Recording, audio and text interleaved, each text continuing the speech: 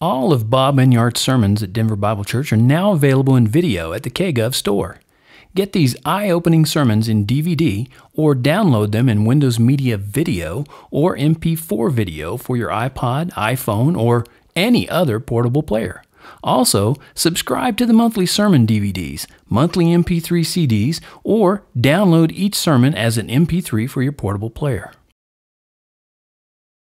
And David writes that God will bring forth the righteousness of those who trust in him as the light, and our justice as the noonday.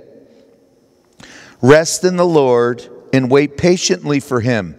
That means don't do anything other than pray.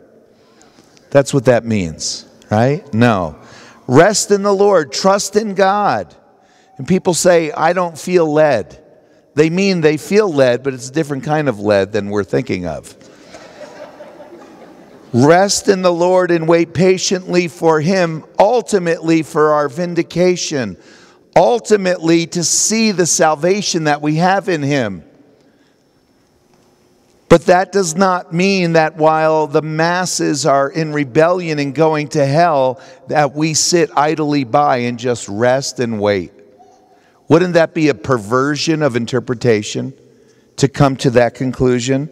But do you see how easy it is to take a phrase out of the Bible to justify perhaps comfort or apathy and view it as a great spiritual maturity that I don't concern myself with the things of the world when the innocent are killed, when parents turn their hearts against God to slaughter their own children.